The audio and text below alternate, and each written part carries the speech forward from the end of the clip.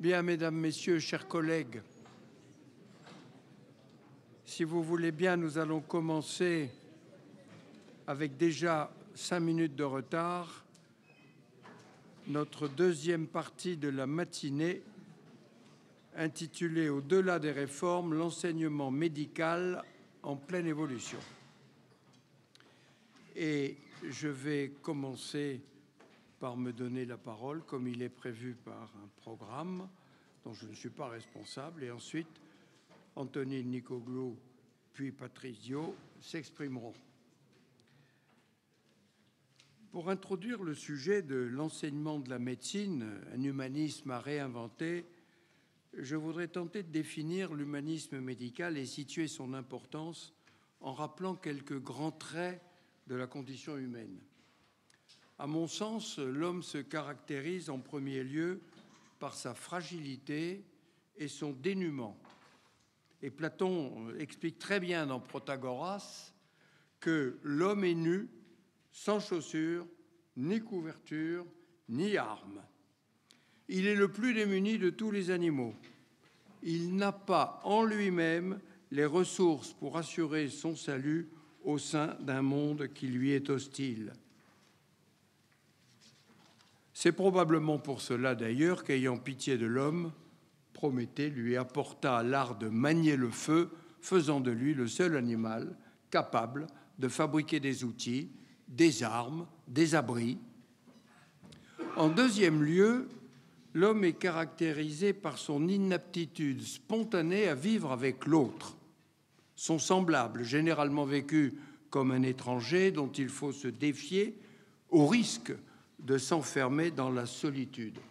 Platon, encore, le déplorait, je le cite, quand ils s'étaient rassemblés, ils se faisaient du mal les uns aux autres.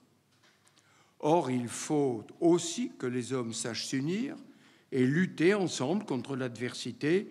L'homme a besoin des hommes. Il est un animal social. Mais l'altruisme ne va pas de soi et la fraternité relève d'un combat.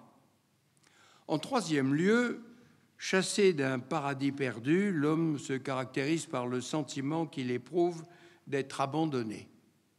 Il exprime ce sentiment d'impuissance à habiter ce bas monde et s'y sentir chez soi. D'autant plus qu'il ne fait que passer dans ce monde qui nous soumet à l'irréversibilité du temps, nous privant de demeurer dans une santé éclatante, sans souffrance ni maladie.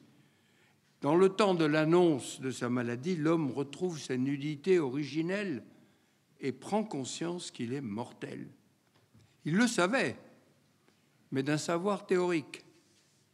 En quelques secondes, il le découvre sous une forme concrète et se révolte.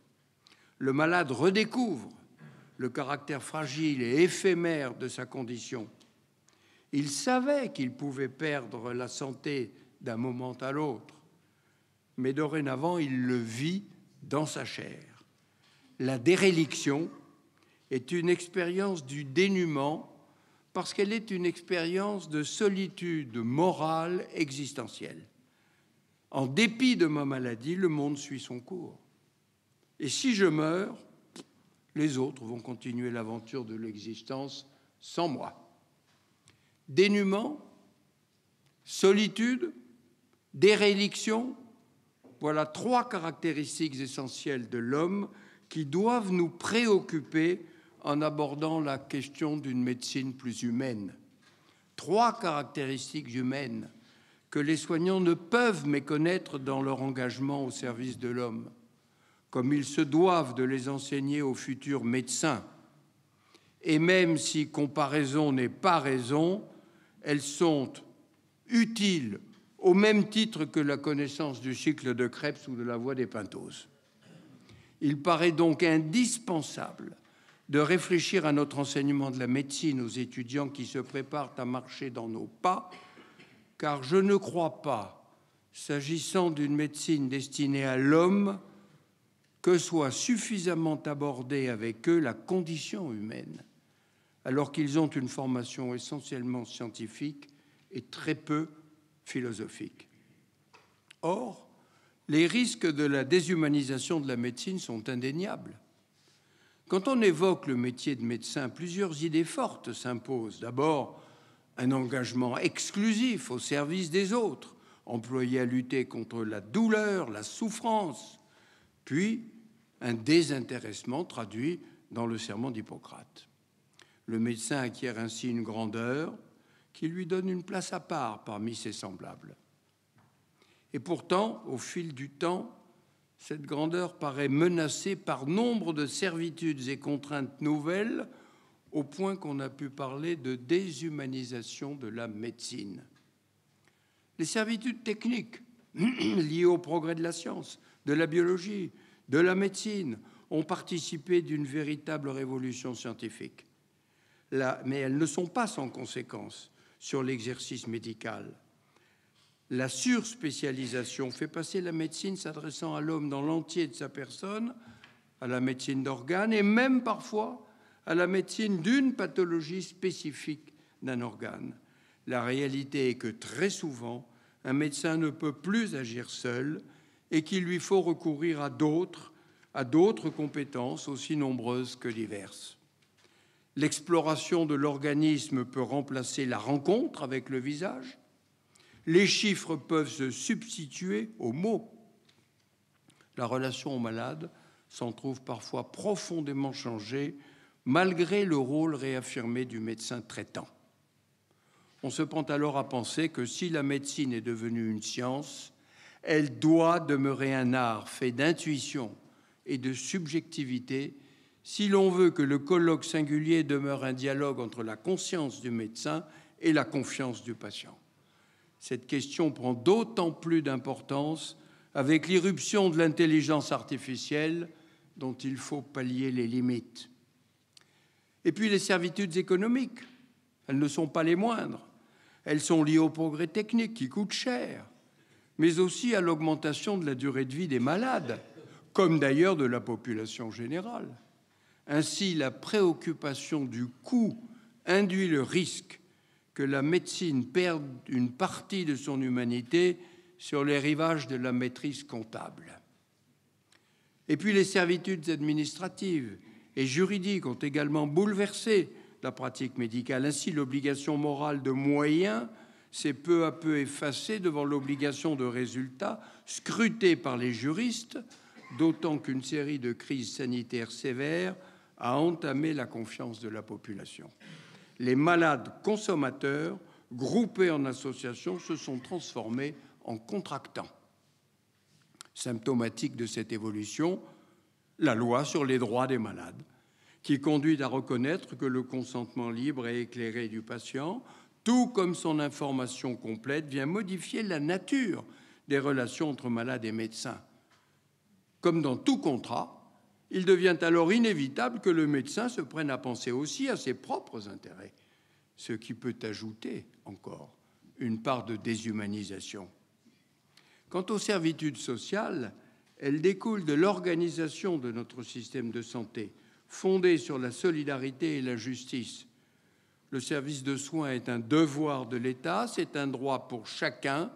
Les médecins tous les médecins, y compris les médecins libéraux, sont des agents délégataires du service public, en grande partie financés par l'argent public de l'assurance maladie. Ils doivent donc justifier de leurs actes et rendre des comptes. S'ajoute ici l'impératif d'accès aux soins. Cela suppose de former les médecins nécessaires pour répondre aux besoins des citoyens vivant dans les zones qu'on appelle les déserts médicaux. Si l'on veut conserver cette médecine humaniste, dont chacun ressent le besoin pressant, toutes ces servitudes et contraintes doivent être enseignées aux futurs médecins pour qu'ils prennent pleinement conscience de leurs devoirs et des risques de l'exercice. Il pourrait s'agir d'une véritable refondation autour de l'impératif de soigner avec humanité. Le souci d'humanité dans la relation soignant-malade doit donc prévaloir au cœur de la formation des médecins. Prendre en compte l'expression, la participation des malades s'avère indispensable. Connaître la logique des associations de patients est nécessaire, mais Ce que doit rechercher le médecin, c'est la meilleure compréhension et des attentes de la personne qui l'accompagne, avec sa personnalité, optimiste ou pessimiste, combative ou résignée. La prise en compte du ressenti de chaque patient est impératif, à la fois sur le plan de la pratique et sur le plan de l'éthique. Sur le plan pratique, la promotion de l'autonomie, l'éducation thérapeutique, l'information, le consentement sont autant de tentatives pour la prise en charge médicale puissent s'articuler autour des capacités et des souhaits de chacun. L'expérience montre qu'il y a tout à gagner en associant les patients aux actions qui leur sont proposées et qu'ils doivent s'approprier. Sur le plan éthique, c'est dans sa dimension de sujet que la personne malade nous interpelle. Pour Emmanuel Lévinas, cet autre est celui qui dispose de moi dès lors que je me le suis laissé interpeller par son visage. Forçant un peu le trait, on imagine souvent la relation médecin-malade comme la confrontation entre le médecin, dominant, debout, sachant, décidant, et le malade, dominé, couché, ignorant et démuni. La réalité doit évidemment être tout autre.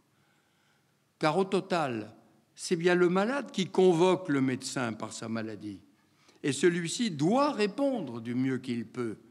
L'homme soignant et l'homme soigné doivent s'associer dans une relation humaine, faute de quoi l'accompagnement se réduit à une mécanique désincarnée.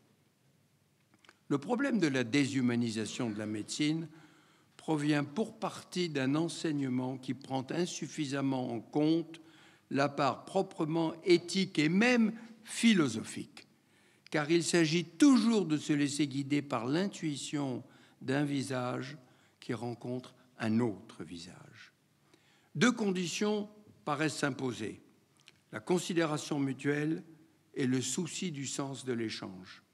En matière de prise en charge, il semble indispensable d'inscrire au cœur des pratiques médicales toutes les formes d'expression des personnes malades en étant attentif à ce que l'expression non verbale soit aussi entendue, tout comme il est précieux que soit aussi recueilli le vécu du malade. Le mythe de Prométhée l'a bien montré, l'homme ne peut se suffire à lui-même. La médecine est désormais armée de moyens techniques qui peuvent permettre de prolonger la vie. Mais se maintenir en vie ne suffit pas aux hommes. Il leur faut trouver des raisons de le faire. L'homme de demain vivra peut-être jusqu'à 120 ans, voire au-delà, avec des organes greffés, des prothèses multiples, des implants électroniques, des tissus cellulaires régénérés, que sais-je, pour accomplir le maintien de la vie biologique. Il revient alors à l'éthique, dont c'est la fonction première de questionner le sens des progrès et le sens de leur usage mais tout aussi précieuse est l'aide d'une pensée métaphysique pour affronter la question des limites et le pourquoi de cette vie. Le soignant doit donc comprendre le vécu et l'attente de la personne malade à laquelle il se, consacre. C'est dire l'importance de la rencontre du visage. Car où trouve-t-on l'expression du temps, de la mort, de la finitude, bref, du tragique de la condition de l'homme, sinon sur son visage. La nudité du visage traduit de la façon la plus authentique qui soit le dénuement de l'homme. Chaque jour, dit Jean Cocteau, je vois la mort à l'œuvre dans le miroir. Support privilégié d'une méditation philosophique sur notre condition de mortel, le visage est également au cœur de la relation éthique à autrui, dans le même temps, toucher la peau d'un malade, poser une main sur son bras, c'est lui exprimer notre proximité. L'attitude éthique prend tout son sens devant la fragilité de celui qui se pense abandonné du fait de sa solitude liée à la maladie. C'est le dénuement de l'autre qui nous convoque. Son visage nous fait prendre conscience de ce que Lévinas appelle la responsabilité sur autrui je cesse de regarder l'autre du haut de ma puissance. Parce que j'ai découvert une autre puissance, venue d'ailleurs, la puissance du visage qu'il m'offre. Cette puissance, c'est la force d'une présence, d'un regard qui se tourne vers moi et m'incline à une réaction d'humanité. Face à un visage blafard, un teint blême, une expression de tristesse, nous ne pouvons rester sans rien faire. La responsabilité médicale, c'est justement cela. Répondre à l'appel d'autrui et se rendre disponible pour lui. En entrant dans cette relation, il faut se garder de dévisager l'autre, car c'est le maintenir à distance. Lévinas écrit à ce sujet C'est lorsque vous voyez un nez, un menton, et que vous pouvez les décrire, que vous vous tournez vers autrui comme vers un objet la meilleure façon de rencontrer autrui, c'est de ne même pas regarder la couleur de ses yeux. Fin de citation. Il faut donc apprendre ce premier regard impressionniste qui précède l'observation clinique qui doit suivre évidemment. Le visage d'un malade qui exprime le désir d'être rassuré peut être source d'angoisse pour un médecin qui n'a pas de diagnostic favorable à lui annoncer. L'expérience de la responsabilité se révèle une expérience de la solitude. C'est aussi une rencontre avec l'altérité de l'autre. Dans toute rencontre, c'est moi qui suis en jeu. Que vais-je dire? Comment vais-je me comporter? En présence de l'autre, j'assiste moi-même à ma maladresse pour être à la hauteur de l'exigence de justice qui transparaît sur le visage qui m'interroge. Il faut enseigner aux futurs médecins qu'ils seront toujours accompagnés par le doute. Il faut qu'ils sachent qu'accueillir autrui, c'est accepter d'être démuni. L'autre m'est toujours en partie incompréhensible, mais je dois me rendre présent à lui, quelles que soient ses demandes. L'éthique que nous propose Lévinas est une éthique de l'hospitalité inconditionnelle et je dois savoir accepter une part irréductible d'incompréhension. Accepter d'être démuni, c'est aussi accepter d'être désarmé face à la maladie grave et incurable de l'autre. Le médecin ne peut que partager avec le malade le sentiment d'absurdité et d'impuissance face au destin. Pourtant, bien que démuni, le médecin doit faire preuve d'une humanité qui est empreinte de cette vraie générosité envers l'avenir qui consiste à tout donner au présent, dont parle Camus pour justifier l'éthique de l'homme révolté. Au terme de ces considérations, je demeure convaincu de la grandeur et de l'humanité de la médecine, tout simplement parce que la nature profonde de la médecine est de se pencher sur la vie. Quand ai-je commencé d'exister? Sur la mort une fin ou un passage, sur la souffrance qui permet ou qui conduit même parfois à s'affranchir des lois et des règlements, sur les différences, posant la question de la qualité des uns et des autres, sur le destin, rappelant l'idéal de liberté. En fait, ce ne sont pas tant les moyens, mais la finalité de l'action qui compte. La grandeur de la médecine vient de ce que toutes ces questions ont un fondement métaphysique, que le corps est animé et que l'âme est humaine, que ce qui est humain dans l'homme ressort de sa dignité. La médecine est grande, car c'est tout cela qu'on vient livrer aux médecins. Quelles que soient leurs évolutions, les sociétés humaines, parce qu'elles sont humaines, ont besoin de médiateurs. Le médecin est ce médiateur entre l'homme et son corps, entre l'homme et lui-même, sans médiateur, la sérénité est impossible dans la solitude, puisque l'existence ne peut s'épanouir que sous le regard et l'attention de l'autre. Il n'est que voir dans les quartiers déshérités la fréquence des consultations liées au mal-être quotidien, les visites de ceux qui ont besoin d'exister quelques minutes face à celui qui va les écouter et poser son regard sur eux. L'appel au médecin est toujours un appel au secours quelle que soit la souffrance. C'est le fait de soulager qui fait la grandeur de la médecine et son humanité. Des progrès ont été faits en matière d'éthique comme de sciences humaines et sociales, mais il me semble encore manquer un enseignement qui développe la philosophie du sens, qui réponde à la question du pourquoi, quand soigner repose trop souvent sur la seule préoccupation du comment. Cet enseignement ne devrait pas se cantonner au début des études médicales, au risque de l'oubli au fil du temps. Le poursuivre tout au long des études médicales et paramédicales me semble essentiel. Il devrait associer la formation à des moments de partage plus ancrés dans la réalité, aux besoins en innovant comme le font les enseignements narratifs ou la simulation de cas, et encore l'apprentissage du langage et des mots pour le dire. La force des mots peut blesser tout autant qu'elle peut rassurer. Il faut savoir livrer la vérité avec les paroles appropriées et prendre le temps nécessaire. Enfin, il faut souligner l'importance primordiale de l'enseignement au lit du malade.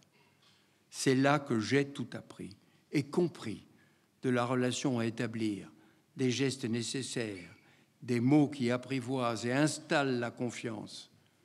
La modernité ne doit pas nous faire oublier l'essentiel de la permanence humaine.